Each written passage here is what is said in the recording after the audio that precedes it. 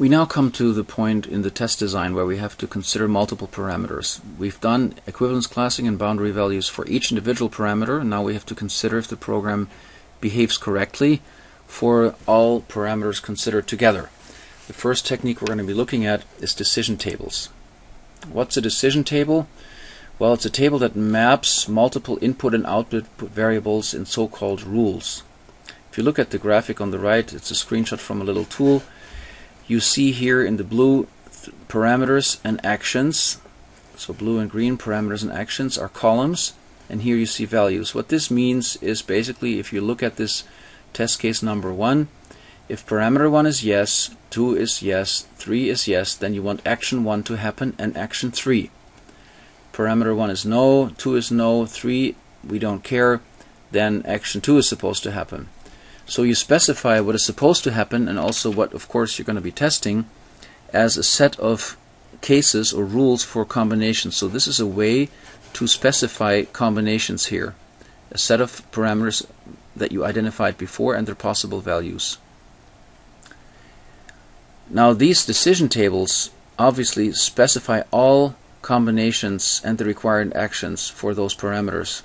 This of course implies that you can use those decision tables only when the number of parameters and values is relatively small. So for instance when you have five parameters. When it gets too big the uh, the resulting test case playing is and then you basically come to exhaustive testing is basically impossible. But still it's a good way to cover small cases of interconnected parameters and sometimes actually even, even as a specification tool. A few more things are important about decision tables. So number one is, I already mentioned those don't care values. A dash here in a certain value means that the parameter value doesn't matter for the rule to apply. So it means that if parameter 1 is no, parameter 2 is no, 3 doesn't matter anymore, action 2 is supposed to happen. This reduces, of course, the number of rules or things you have to cover because this value here doesn't matter anymore. This leads to the next question of completeness. When is a table complete? When are you? How can you know if you forgot a case or not? If you think about this in general, let's say you have three parameters that can be yes and no. Then you have 2 to the power of 3, or in generalized terms, 2 to the power of n possible cases to cover because you have to co cover all combinations. What the tool here does for you is it observes the number of distinct values, in this case only yes and no, but if you do ABC, this number would be 3 here and then from that computes by product the number of test cases, in this case 8, to be needed for completeness. And here we see that we only have 6. And why is that? Well, this is only one case, obviously. The dash here means that two cases are covered. No, no, yes, and no, no, no, because parameter 3 can be yes and no. So this one rule covers two cases, if you will, so two parameter combinations.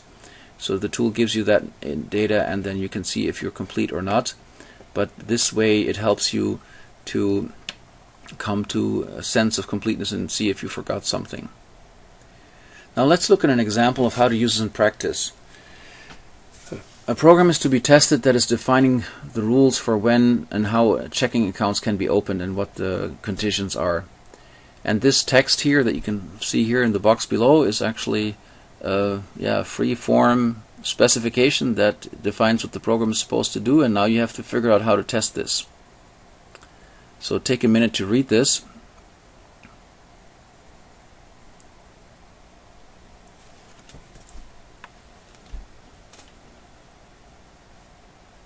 So you see that certain things, conditions apply, that there's a talking of minors and parents and overdraft limits and so forth.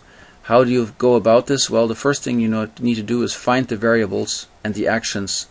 And this is typically not that you just have to go through the text and mark them. So in this case, if you think about the actions, then you we mark them green. The uh, var variables parameters in this case we marked blue. And you see here then we have the variable identity card, minor, consent, and so forth. If you put this into a table, you see this picture that you have variables has ID. This is number one here, identity card. Applicant is legally an adult.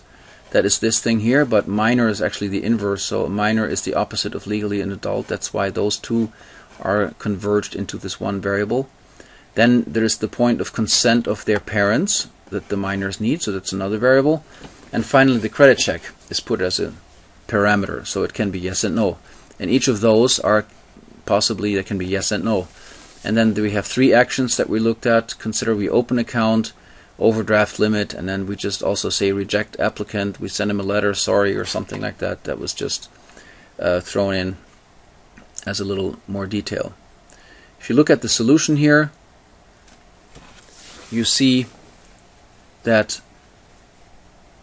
when an account, when an applicant doesn't have an ID, you look down here, nothing else matters. When they don't have an ID, you have to reject them. And this is the meaning of the first sentence. So basically you kind of go by sentence by sentence and try to apply the rules and, and to write down what they mean and try to fill the table. In this case you see here that each of those values have two distinct values. The, parameters have two distinct values that gives you 16 cases to cover and which you also have. Why? Because those three don't cares cover eight cases and then here you have those dashes that each mean two cases.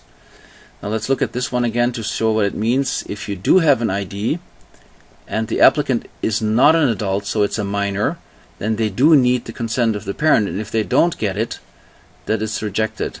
But if they do get it, then they get an account. But they don't get an overdraft because minors don't get an overdraft and so forth. So this is how you can write down conditions and actions that are supposed to happen based on this. There's also a little application, the the uh, Excel that you can look at the tool that also has this as a sample in it and you can play with it a little bit. This concludes the section on decision tables.